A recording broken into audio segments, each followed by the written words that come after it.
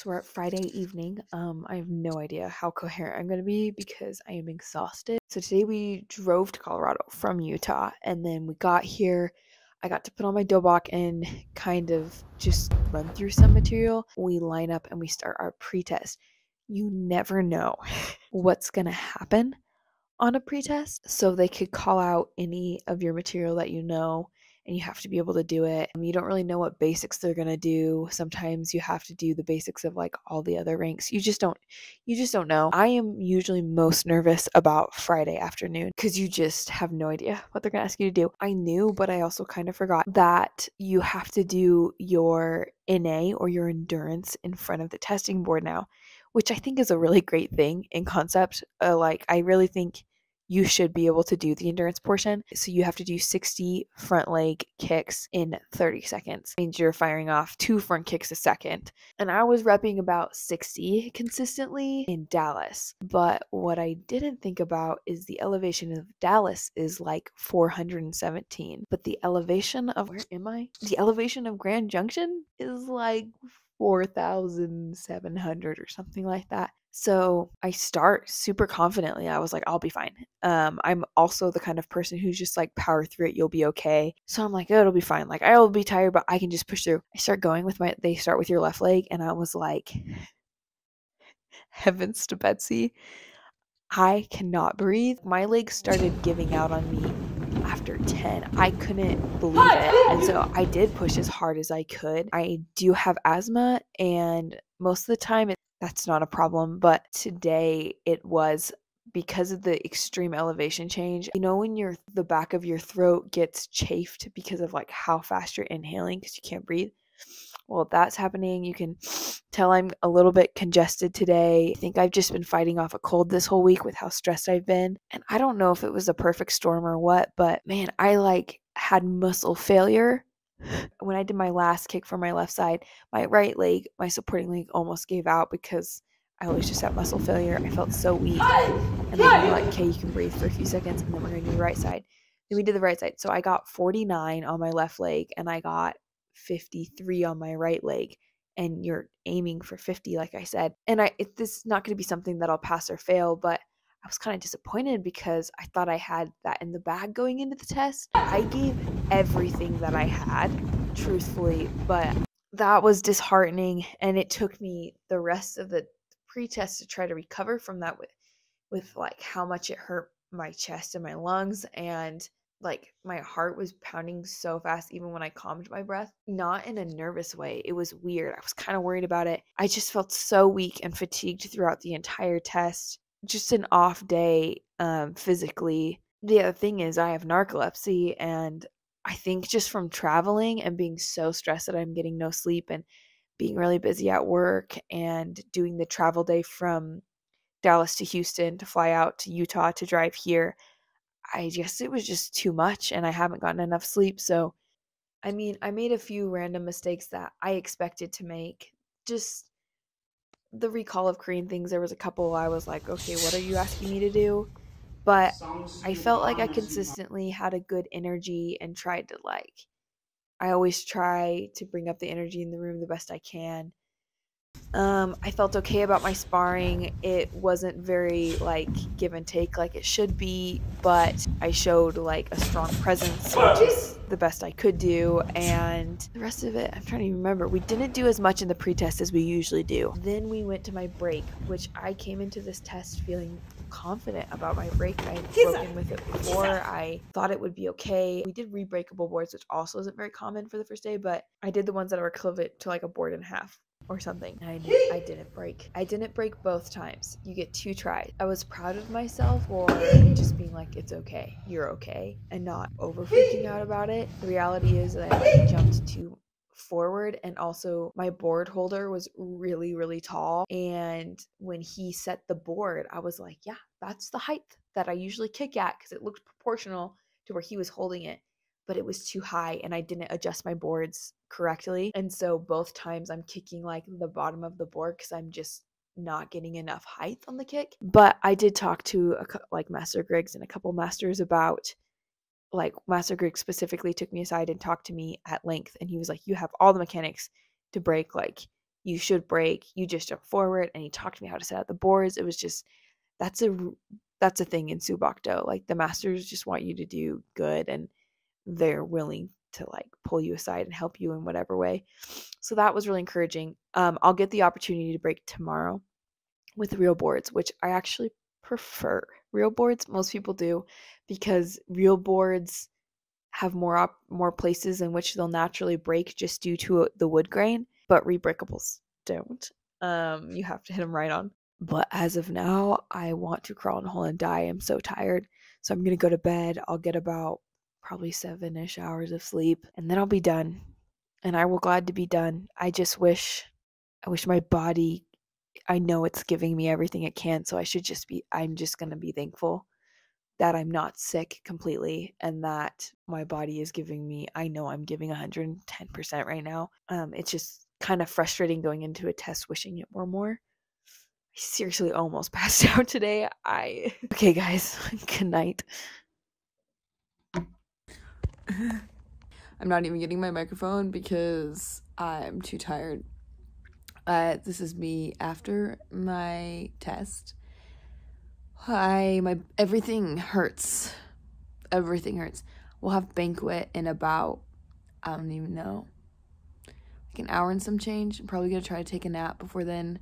I'm dressing up as Daniel from Karate Kid. You can't really tell, but I do have the you know. You, you know. I whacked in the jaw in sparring, which it's fine now, but it was a little sore. But then I punched my partner in three step sparring. Punch him right here. Mm. You're supposed to be aiming for here, but I used to aim for here with Tang Soo Do, and so sometimes I still do that. Apparently, I did that because that's where I hit him. Poor kid. Um, yeah, I broke. Ah. So it's been quite a little bit since my test. In fact, it's been six months. Um, I forgot to update you guys, and so I figured that I would just make a video. And what's great about testing is because it's kind of a once in a lifetime thing and it's a pretty stressful event, I do remember it in great detail. Um, so I'm gonna go through each thing on the second day. Cause cool is now I already have my certificate, and so I get to, I can show you guys that at the end. Start off the test with combinations. Since I knew ah! which ones we were doing and the nerves, ah! I definitely felt like hmm. second day I did much better on the ah! combinations and overall because one I started to feel better like physically and then it hmm. felt pretty awful the beginning of the day doing all the seminars. But by like the time we were testing i was feeling pretty good a lot better and at the end of the day, I am a performer, and there's an audience that comes and watches your test. It just kicks me into gear a different way, and so I just get into like performing mindset rather than I'm testing mindset which I think was very helpful for me and it was helpful on my Chodan test also. The con to that is I feel like I did revert to some old technique. Sometimes when I get stressed, I revert back to old training rather than kind of the more nuanced, more technical technique. But at the end of the day, I did it. Kicking combinations went pretty good, except I accidentally, instead of doing a jumping, spinning, inside outside kick, I did like a, I don't even know what I did. I think I was doing a tornado kick, um, and my instructor was like, do you realize you're doing that wrong? I said, not until the very last kick. And I heard somebody on the testing panel say, like, does she know what she's doing? And I was like, well, oh well, full send. Knife defenses awful. The thing is, is I didn't get to train with anybody or any partners for like pretty much my whole prep because I moved away from my instructor and so then I was actually just training on my own and in the air and then I didn't have the opportunity to work with partners until like a couple months before my test and really we only ran things a few times. So knife defenses did not go well and that was kind of a letdown but I did pretend to just like know what I was doing and do my best. Luckily my partner was very generous with me um, I also had to learn his bomb defenses. So that was a bummer, but I felt like my three-step sparring went really well. That was probably one of my best ones. And I even like my self-design came really easily, so I feel like at least with Samsu she did really well. Sparring was fine. Again, it's crazy now, six months later, how much I've progressed in sparring from when I was at my test. And so I look back on it now and I'm like, ugh. What they're really focused on in your test is are you just owning it? Like, are you bringing the energy? Are you bringing the chi? Are you just coming up and showing out? And I did that. So sparring was fine for where I was at the time. Then I actually broke, which I did say in the previous section. I didn't break the first time because I gave you two tries. I only broke with one foot. And then finally on the last try, so Greg Sabumnim worked a lot with me um, beforehand. And I actually kind of hurt my toes because I was practicing with him. I was like, okay, I got to just be done. And just, he's like, at the end, just just full send. Just like, you, you can break them. You have the technique. Just like throw yourself through the wood. So I get up. I like, he had worked with me a lot on like where to set up my board. So I do that. And then I, you know, and then I key up and I jump and I have my feet perfectly placed. I set them up in a good place, but I only break with the right side. And usually you I get disheartened when I don't break, but I was like, oh my gosh, I did all the things right. I just didn't kick hard enough. Like now I just got kicked through the boards. So the second time I actually pretty confidently was like, okay, and then I broke, um, which felt so good after